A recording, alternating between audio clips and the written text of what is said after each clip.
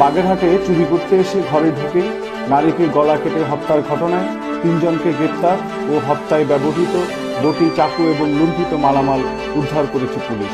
বুধবার ভোর রাতে শহরের পূর্বসরী এলাকা থেকে পুলিশ তাদের আটক করে। একুশে মার্চ রাতে নারকেল কেনার কথা বলে অবসরপ্রাপ্ত প্রকৌশলী মোহাম্মদ আব্দুর রহিমের বাসায় ঢোকে হত্যাকারীরা। নারকেল দেওয়ার সময় তারা হোসনে আরা বেগমকে আঘাত করে এবং স্প্রে দিয়ে অজ্ঞান করে ফেলে। পরে তারা শোবার রুমে নিয়ে বটি ও ছুরি দিয়ে তাকে হত্যা করে।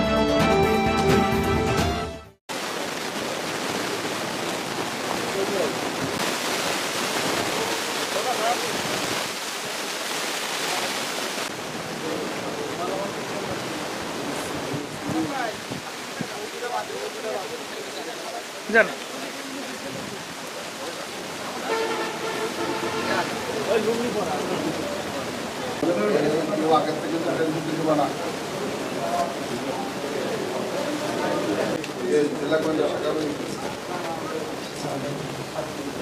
ওই জেলা গোয়েন্দা শাখা কোনো ছুটি টুটি সব আসছে কিন্তু বাইরে হলে ভালো হতো।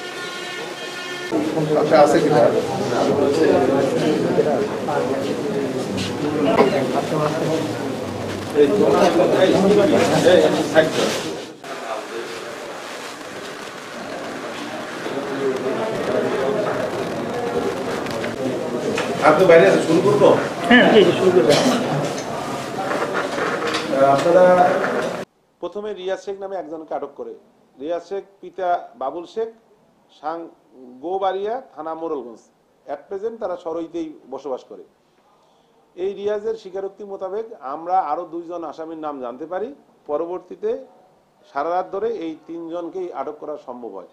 মহিলার আলমারি ভেঙে বিভিন্ন ধরনের মালামাল নিয়ে যায়। আমাদের এফআইআর যে সমস্ত মালামাল উল্লেখ ছিল, আমরা যে সমস্ত মালামাল উদ্ধার করেছি, তার মধ্যে সামঞ্জস্য আছে। উদ্ধারকৃত মালামালগুলোর মধ্যে আছে স্বর্ণের রুলি দুইটি, স্বর্ণের চেইন একটি স্বর্ণের কানের দুল এক জোড়া এবং হত্যায় ব্যবহৃত ধারালো ছুরি এবং বটি। এই সমস্ত মালামাল আমরা এখন পর্যন্ত নিশ্চিত হয়েছি যে এই মালামালগুলো ওই মহিলারই মালামাল এবং আসামিগণ স্বীকারোক্তি দিয়েছে যে তারা এই ঘটনা নিজেরা ঘটিয়েছে। সার্বিকভাবে আমার মনে হয় যে এই ঘটনার আসামিদের জিজ্ঞাসাবাদে আমরা জানতে পারব যে তারা শহরের আর কোনো ছিনতাই কাজ বা আর কোনো চুরির কাজের সাথে যুক্ত কিনা, বা এই ঘটনার পিছনে বা অন্য কোনো ঘটনা আছে কিনা যেটা এখন পর্যন্ত অধারা আমরা ভবিষ্যতে এই মামলার আরও যদি কোনো দিক থাকে, সেই দিকগুলো উদ্ঘাটন করতে সক্ষম হব সবাইকে।